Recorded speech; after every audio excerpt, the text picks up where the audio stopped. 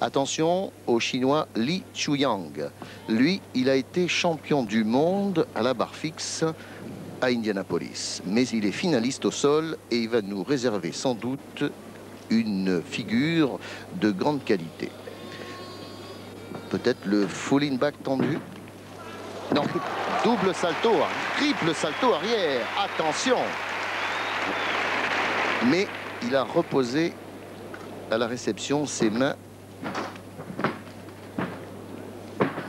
Ah. Voilà ce qu'on appelle un contre, c'est-à-dire de la série en supérieur arrière à la réception du dernier supérieur arrière, repartir vers l'avant. On appelle ça un saut percuté aussi. Depuis peu.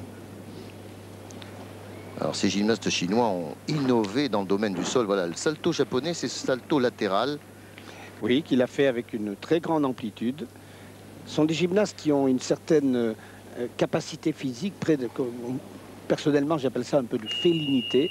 Ils sont très légers et c'est vraiment dommage qu'il ait posé les mains par terre car il va être pénalisé lourdement.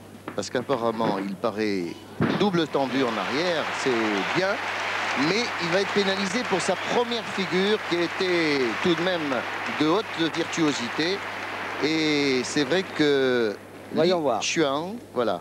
Non, là c'est la série vers l'avant. La série vers l'avant avec le salto avant. Et le salto percuté. Voilà, le salto percuté qui est un salto arrière percuté ensuite vers un salto avant.